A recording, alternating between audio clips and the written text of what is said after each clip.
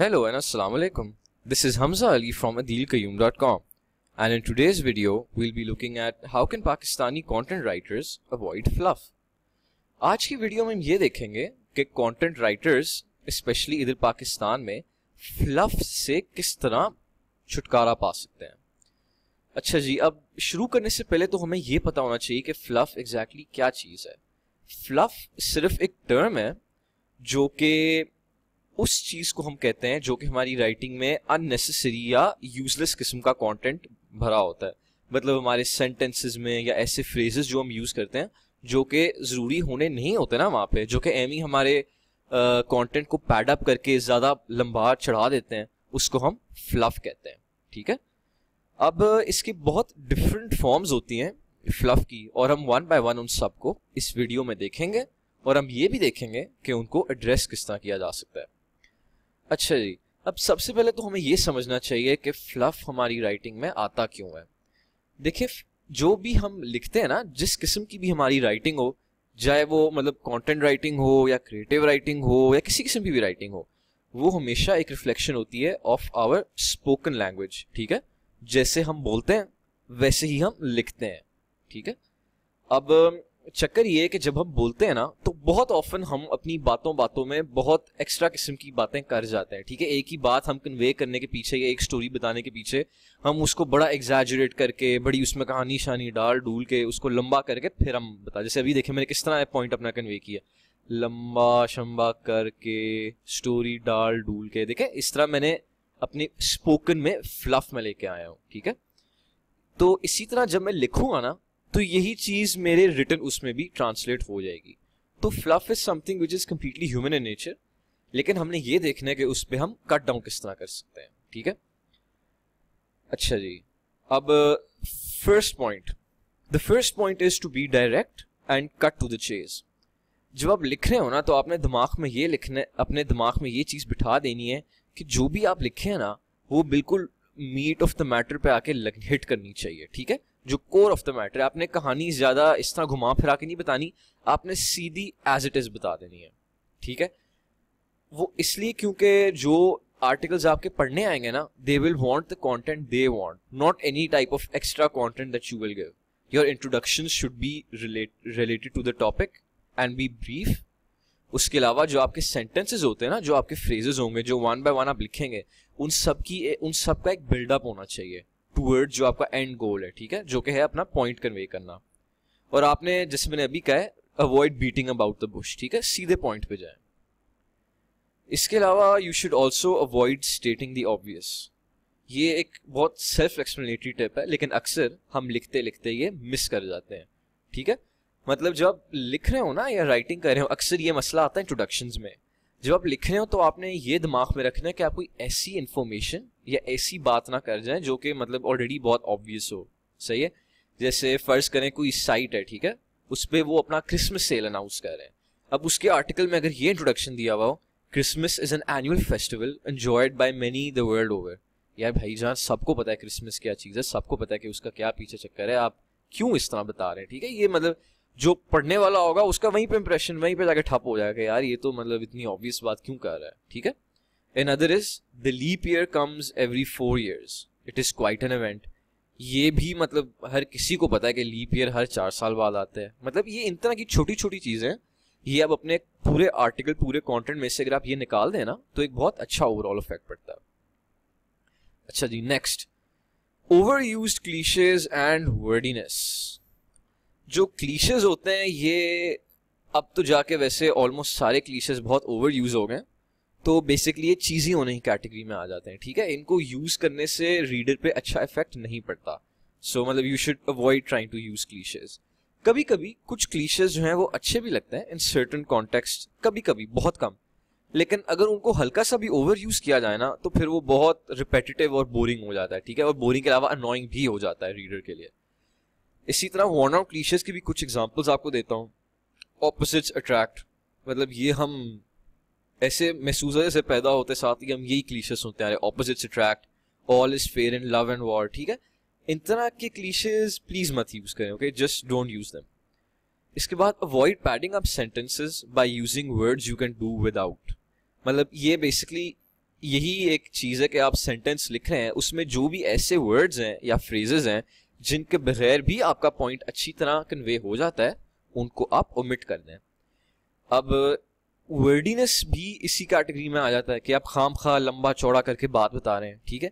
तो इन दोनों चीज़ों से अपने आप को बचाने के लिए एक सिंपल आपने मेथड यूज़ करना है। आपने री रीड करना है अपने सेंटेंस को, ठीक है? और आपने फिर देखना कि वो सेंटेंस इस तरह री राइट हो सकता है शॉर्ट करके, जिससे आपकी, आपका मीनिंग क्लियरली कन्वे हो रहा हो। जब वो हो, उस सेंटेंस को ऊँचा पढ़ें and if it make sense that means you have successfully cut down on the length of your sentence ठीक है? Okay now the next point is redundancy redundancy का बेसिकली मतलब यही होता है रेपिटेशन ठीक है? एक ही बात को बार बार बार बार रिपीट करना। आप एक ही चीज़ को बार बार रिपीट करेंगे, वो रिडंडेंट हो जाता है। मतलब आपने एक दफ़ा बता दी है, ठीक है भाई मतलब बस कर दें। अब आपने बार बार वही बात रिपीट करने की ज़रूरत नहीं होती, ठीक है? वो बहुत उससे एक पुअर और इमेच्योर टाइप ऑफ़ राइटिंग वाला इफ़ेक्ट आता है, ठीक है? So please try to avoid this मतलब ये भी ह्यूमन नेचर में है कि अक्सर हम चीज़ें रिपीट कर जाते हैं, ये इसमें वही बात होगी कि वर्बल जो आप बोलते हैं, वही आप रिटर्न में ट्रांसलेट कर जाते हैं। But you still need to avoid this when writing ठीक है?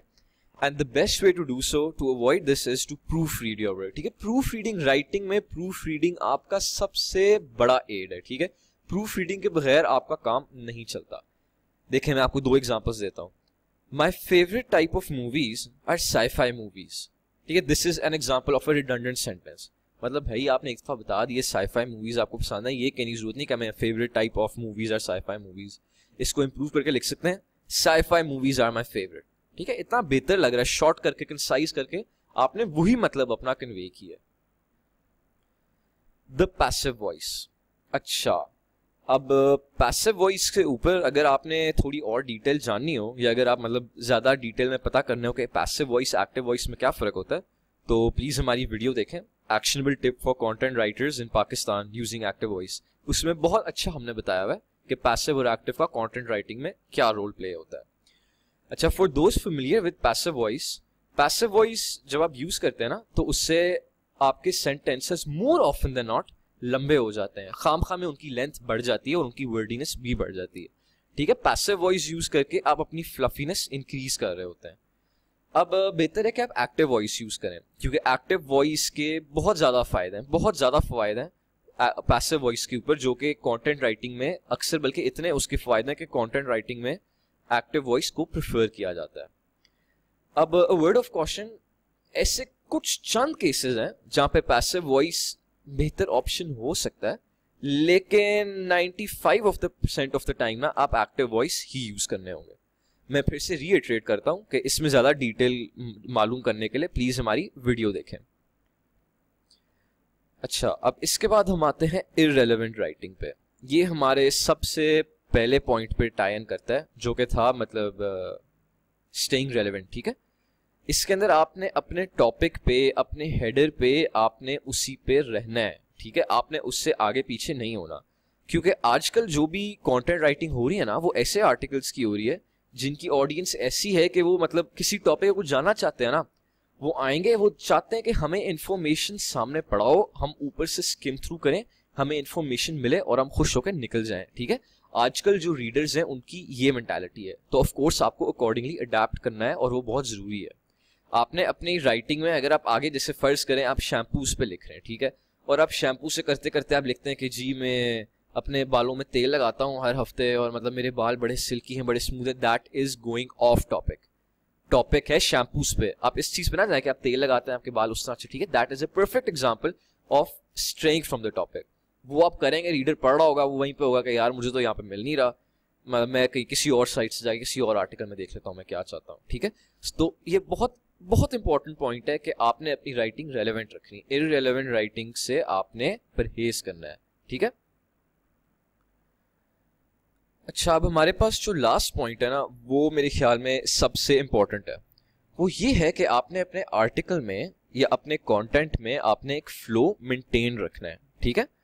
मतलब जैसे हमें आ, सिखाते थे क्रिएटिव राइटिंग क्लासेस में बचपन में। इसी तरह था कि आपने एक इंट्रोडक्शन देनी है। ठीक है? शॉर्ट सी इंट्रोडक्शन उसके अंदर जैसे मैंने अभी बताया था कि डोंट स्टेट दी ऑब्वियस अच्छा सा शॉर्ट सा इंट्रोडक्शन दें कैची सा अटेंशन ग्रैप करने के लिए. फिर अपने आर्ग्यूमेंट्स वगैरह दें और एक लॉजिकल कंक्लूजन के साथ ख़त्म करें. ठीक है? अपना आर्टिकल ये परफेक्ट एक तरीका है. आप इस तरह इसको सपोज़ कर सकते हैं, इस तरह आप लिख सकते हैं कि आपके जो भी पॉइंट्स हैं ना, उनको आप लिस्ट करें. आप फिर हर पॉइंट या, हर पॉइंट या आर्ग्यूमेंट पे आप एक या दो पैराग्राफ दें फिर आप इसी तरह ठक ठक ठक करके अपने points one by one separate करके प्रेजेंट करें, ठीक है? सेपरेट करके। आपके आर्टिकल से इस तरह नहीं फील आनी चाहिए कि आपने एक ही पैराग्राफ में दो तीन पॉइंट मिला, मिलू के आपने जोड़ के घुसाए हुए ठीक है? उससे ये बहुत डिसोरिएंटिंग होता है रीडर के लिए। रीडर को भी एंड में ना आर्ग्यूमेंट्स की भी सही समझ नहीं आती। वो आपके पॉइंट पे नहीं आएगा अगर आप इस तरह करेंगे। और इसके अलावा जब आप अलग अलग पॉइंट्स को पैराग्राफ्स में डिवाइड कर देंगे ना तो उसके बाद उन पैराग्राफ्स के बीच में भी कोहीजन ज़रूरी होती है। जैसे आप एक दीवार तामीर करते हैं तो उसमें आपने हर ईंट के बीच में सीमेंट भी अच्छा पक्का करना होता है, वरना ईंटें खड़ी कर देंगे, वो तो कोई आगे ठुड्डा मार देगा, गिर जाएगी दीवार, ठीक है? So the same analogy applies here need to have good cohesion be, between each of your paragraphs and each of your points, ठीक है? अब ये मैंने स्पेशल आप लोगों के लिए स्लाइड तैयार की है बोनस स्लाइड है। इस टेक्निक को मैंने नाम दिया है पी बी ई ए ठीक है? प्लान बिफोर एडिट आफ्टर इसका बेसिकली ये मतलब है कि जब आप ये आपने ये गोल्डन रूल है एक फॉर राइटिंग ठीक है? बहुत अच्छा टिप है। कॉन्टी मुझे खुद भी इसकी बहुत हेल्प हुई है। आप जब कुछ लिखने वाले हो ना तो उससे पहले आपने अपनी हेडिंग मतलब जो भी आपका टाइटल है, उसको जहन में रख के आप ब्रेन करें, ठीक है? मतलब तीन चार मिनट ही ब्रेन करें। That is also more than enough जितना आपको लगता है अप्रोप्रिएट वो ब्रेन करें। पॉइंट्स आप रखें कि यार अच्छा अगर मैं इस चीज़ पर आर्टिकल लिख रहा हूँ, मैंने यू यू करके लिखना है, और मैंने ये पॉइंट्स अपने रखने हैं। सही है?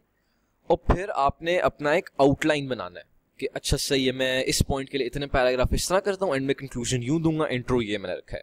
ठीक है? ये आपका पीबी स्टेज है।